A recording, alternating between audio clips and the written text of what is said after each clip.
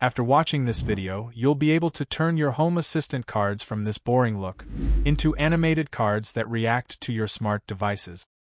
No experience is needed. I've made it so simple, so you only need to copy the style to your cards and change a few entities, and it is completely free. It's important to follow the instructions in this video to the end, as I will show you exactly how to set up all these cards with very little effort. I've also created lots of custom cards that you guys requested in the comments section, like these environment sensors cards that react to temperature, humidity, and air quality. Those cards also change color and animations dynamically according to the sensor's readings.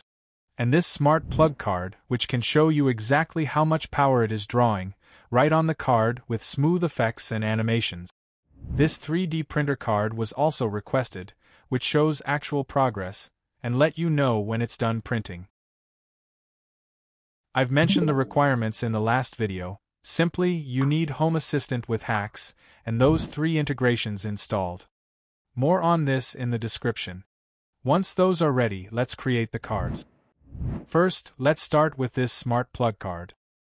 Go to your dashboard view. It's recommended to change the theme of the view to the mushroom theme. Here is how to do it. Then click Add Card. Search for the Mushroom Entity card and click on it. Add the Smart Plug device name and set the info as you like. Just make sure to set an actual color here. Do not choose primary or accent.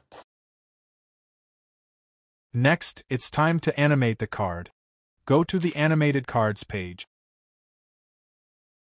Search for the plug card.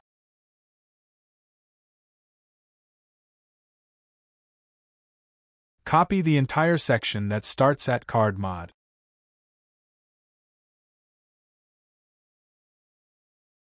Back to the dashboard, click Show Code Editor. Paste it here at the bottom. Make sure to replace this entity with your actual power sensor of your plug.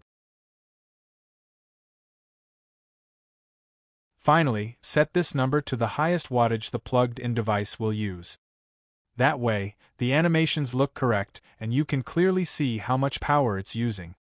Now, when the plug is turned on, the card icon will light up, and it will only start showing animations once the plug begins drawing power. Next, the environment sensors cards. Here's how to set them up.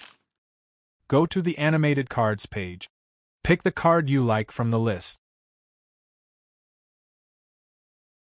Copy the entire code, then head back to your dashboard. Add a manual card. It's all the way at the bottom. Delete everything in here and paste the code you just copied. You just need to change the entity to your temperature sensor in those two places. And just like that, it will work nicely. If you would like to change the numbers I use for the colors and temperatures, simply adjust these thresholds here to your liking. To set up the other cards, watch the previous video where I explained exactly how to do it, as there is some extra or different instructions. Do you want more custom cards? Request them in the comments section below, and I'll create them in the next batch of cards, and there will be a community post every time I publish new stuff. Turn on the bell for notification so you don't miss them. Finally, leave a like, subscribe, and have a nice day.